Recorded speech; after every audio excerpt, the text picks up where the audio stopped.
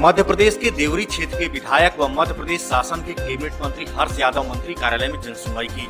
साथ ही नगर के गरीब, निसहाय लोगों को इलाज व अन्य समस्याओं के निराकरण के लिए आर्थिक सहायता भी दी गई। जन सुनवाई के पश्चात ग्राम महाराजपुर पहुँचे, जहाँ कार्यकर्ताओं से मुलाकात करके तीतुर पानी पंचायत के ग्राम अरसी, जहाँ अभियान के अंदर ग्राम होने से सड़क कच्ची है, वहाँ मंत्री जी स्वयं ट्रैक्टर चलाकर पहुँचे।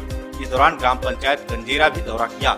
कुछ दिन पहले ग्राम अरसी की दो महिला के साथ नेशनल हाईवे पर हुई दुर्घटना में मृतक दो आदिवासी महिलाओं के परिजनों व ग्राम कंजेरा में कल्लन आदिवासी जो सतधारा जलाशय में बहकर मृत्यु हुआ था, उसकी माता से मिले।